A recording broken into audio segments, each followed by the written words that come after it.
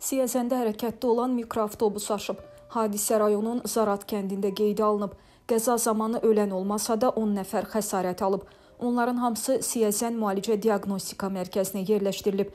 Yaralanan şəxslərin hamısının fəhli olduğu bildirilir. Təbibdən verilən məlumata görə baş verən hadisə ilə əlaqədar Siyəzən müalicə diaqnostika mərkəzinin təcili tibbi yardım briqadaları hadisə yerinə cəlb edilib. Hadisə nəticəsində hər biri qadın olmaqla xəsarət alan 10 nəfər saat 08:40 radələrində tibb müəssisəsinin təcili tibbi yardım bölməsinə yerləşdirilib. Onların hər biri zəruri müayinələrdən keçirilib. Pasiyentlərdən 8-inin vəziyyəti qənaətbəxş olduğundan ambulator müalicə üçün evə buraxılıb. Digər xəstələrin müalicəsinə tibb müəssisəsinin cərrahiyyə şöbəsində davam edilir. İranda qadın idmançı Seul Olimpiyadasında hicabsız iştirak edib. Olimpiyadanın seçmə mərhələsində İranı təmsil edən Elnaz Rekabi ölkəsinin qadın idmançılar üçün qoyduğu məhdudiyyətlərə məhəl qoymayıb. Belə ki, o yarışın final təsnifat mərhələsində hicabsız iştirak edib. Rekabi hicab taxmamaqla İranda əxlaq polisi tərəfindən saxlanıldıqdan bir neçə gün sonra vəfat edən Məhsa Əmininin ölümünə etirazını göstərib.